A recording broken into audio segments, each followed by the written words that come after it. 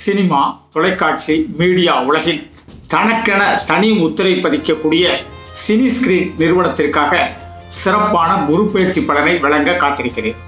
அதாவது மேசராசி என்பர்கள் அஸ்வினி பரணி கார்த்திகை ஒன்றாம் பாதம் அடங்கிய மேசராசி ஜோதிட பிரியர்களே கலை உலகத்தில் ஜொலிக்க போகிறீர்கள்.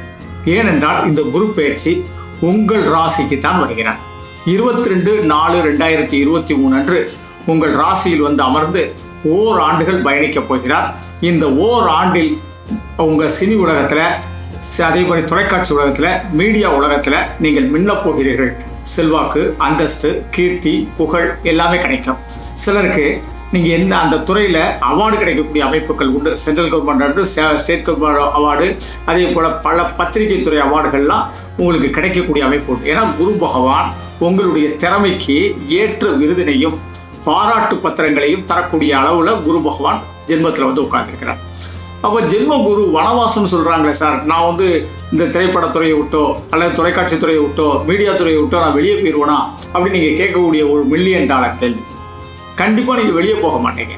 இப்போ என்ன சொல்கிறேன் அப்படின்னு கேட்டிங்கன்னா தொலைக்காட்சி துறையில் நீங்கள் இருந்துகிட்டு இருக்கீங்க அப்படின்னா அங்கேருந்து வனவாசமாக சினிமா துறைக்குள்ளே போவீங்க.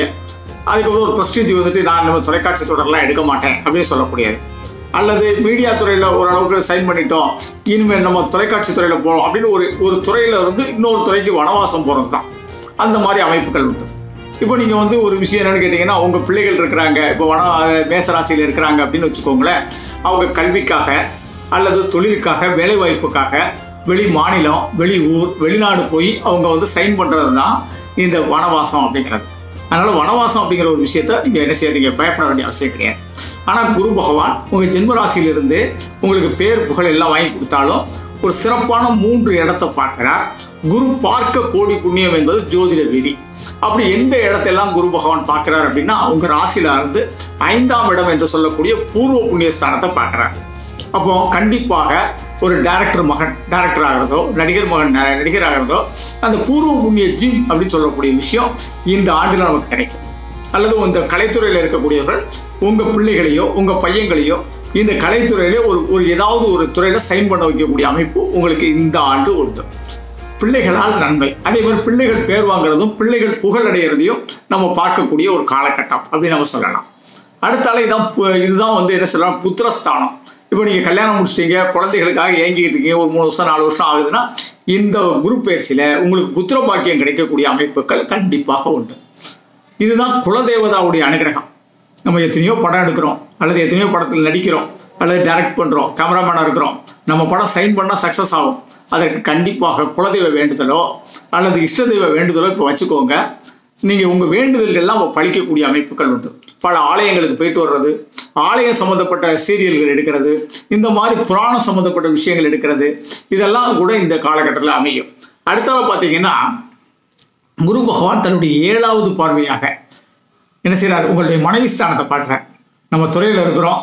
நம்மளுடைய மனைவியோ அல்லது நம்மளுடைய கணவரோ நம்மளை அந்த ஒரு நம்மகிட்ட சில சிக்கல்கள் பண்ணிக்கிட்டு இருக்காங்கன்னா அதெல்லாம் இப்போ தீரும். கணவன் மனைவிக்குள்ள உறவுகள்லாம் ரொம்ப சிறப்படையும் அப்படின்னு சொல்லலாம். மனைவியினுடைய அன்பு கிடைக்கும். உங்களுக்கு நிறைய விஷயங்களில் கண பெண்களாக இருந்தால் கணவருடைய அன்போ ஆணாக இருந்ததுன்னா மனைவியுடைய பலமோ அது மூலம் இந்த துறையில் நம்ம சக்ஸஸ் பண்ணக்கூடிய அமைப்பு கண்டிப்பாக உண்டு. அதே மாதிரி நண்பர்கள் பல நண்பர்கள். உங்களுக்கு இந்த துறையில் பல நண்பர்கள் பல விஐபிகளை நம்ம போய் பார்ப்போம். சில நண்பர்கள் வந்து உங்களை வச்சு படம் எடுக்கிறதோ இல்லாட்டா உங்களை கேமராமேன் அப்பாயின்மெண்ட் பண்ணுறதோ இந்த காலகட்டத்தில் உண்டு. நட்பால் நன்மை அப்படின்னு சொல்லக்கூடியது.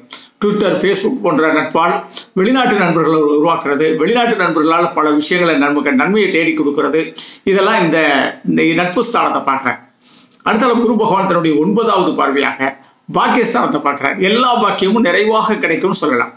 சார் நான் தொழிலில் எனக்கு கிடைக்குது. என்னோட குடும்பத்துலேயும் எனக்கு தேவையான பாக்கியம் கிடைக்குது.